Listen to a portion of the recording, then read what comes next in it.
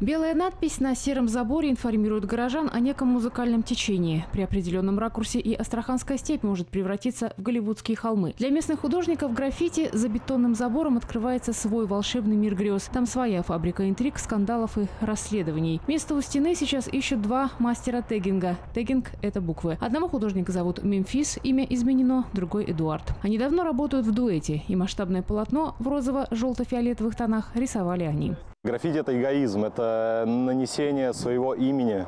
Но это не значит, что на заборе они напишут Эдик и Мемфис. У каждого граффити художника есть никнейм. Его и наносят на стены разными шрифтами. Уровень исполнения могут оценить только избранные. Какой-то случайный просто прохожий прошел, он вряд ли это ну, поймет. Он там скажет, что это такое, там какая-то мазня, какие-то каракули.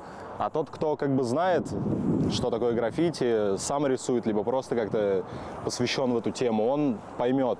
На сером поле городских пустырей художники ведут негласную борьбу за почерк и чистоту стилей. С собой валики и баллончики с краской. Уличное искусство требует финансовых жертв. В больших городах для таких, как Мемфис и Эдуард, выделяют отдельные пространства. В провинции место славы надо отвоевать у пустырей. У нас местами пока немного, и такие, о таких местах знают только те, кто рисует граффити, в принципе, в целом. Личная роспись есть и у графического дизайнера Дениса Черменева. Не так давно он обнаружил на ней вандальную надпись. Свой никнейм на авторской подписи оставил кто-то из коллег. Хотя, если верить внутреннему кодексу, так делать строго запрещено. Это некая, некая роспись, э, кто-то проявил такое неуважение да, к нам и к нашей работе. Это, конечно, печально. Сегодня Денис Черменев – художник стрит-арта, и благодаря ему маленькая пустынная птичка Сизоворонка обрела масштаб и теперь больше похожа на райскую птицу. Расписанный мост возле театра оперы и балета – работа Дениса и его команды. Цветовое решение мост обрел во время фестиваля «Челим». В 10 метрах от арт-объекта – остановочный комплекс. Его расписали тоже граффити-художники. Но Денис на них как будто не в обиде. Он и сам так делал, когда был молодым. Конечно, само собой.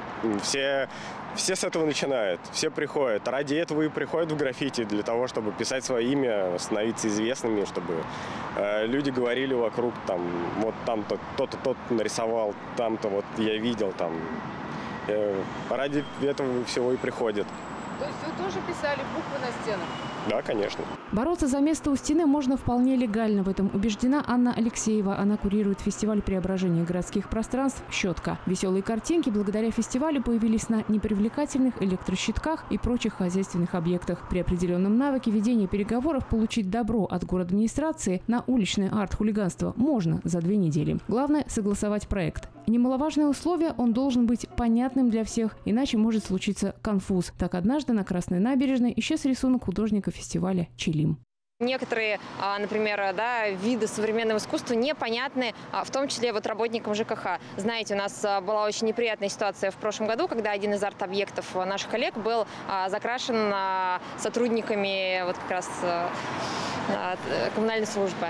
Поскольку, ну, вероятно, не поняли, не оценили. Было очень обидно, неприятно. Вызвало тоже, опять-таки, всплеск эмоций и в художественном сообществе, и среди жителей. Но, опять-таки, было обсуждение.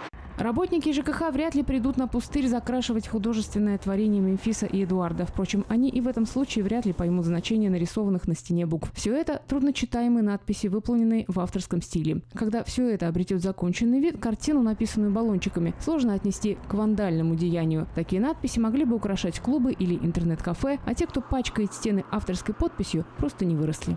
Не хочу никак плохо выразиться, но как для меня в целом это как собаки на улицах, вы знаете, метят свою территорию. Вот. Потому что я считаю, что человек, который рисует граффити, он, в принципе, должен давать о себе знать не только тегами на улице, но и своими рисунками. Это в первую очередь. Граффити приходят подростками под покровом ночи с одним баллончиком, но остаются в этом уличном искусстве немногие. Денис после подростковых экспериментов ушел в графический дизайн. Туда же собирается отправиться со временем и Мемфис. А пока он увлечен масштабом и мечтает встать в один ряд с художниками Челима. Им всем есть о чем поговорить. Все начинали с тегинга. Просто для кого-то он стал искусством. Эленора Лем, Алексей Якупов, Руслан Асанов и Олег Райда. Центр новостей.